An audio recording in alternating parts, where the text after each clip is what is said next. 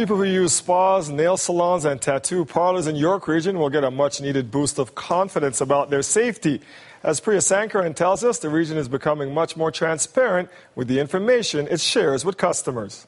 I don't know what to look for, but I know that it's so easy to pick up infections. So Eileen Atkinson doesn't have to worry. York Regional Public Health brought CBC News to this spa because owner Tian Yuen is doing everything right to prevent infection. Each time a pedicure tool gets used, it's cleaned and sterilized.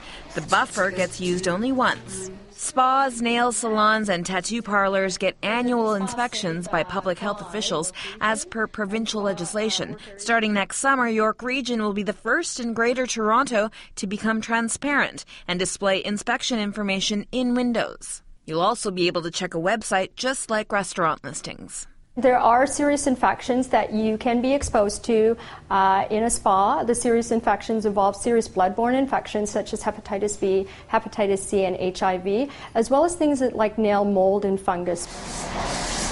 So, when you're at a salon and you're getting a treatment like a wax done, how do you know that the place is safe and clean?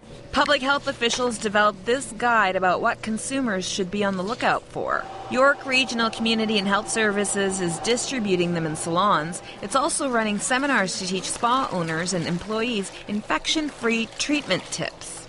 Well, I think it's fantastic that they're doing what they're do- we're doing with, with the restaurants, posting signs, letting them know that the safety has been done and it's been passed. I'm just glad that this is taking place. A clean spa means Atkinson is confident in her choice. Things are getting checked and looked after, and I like that.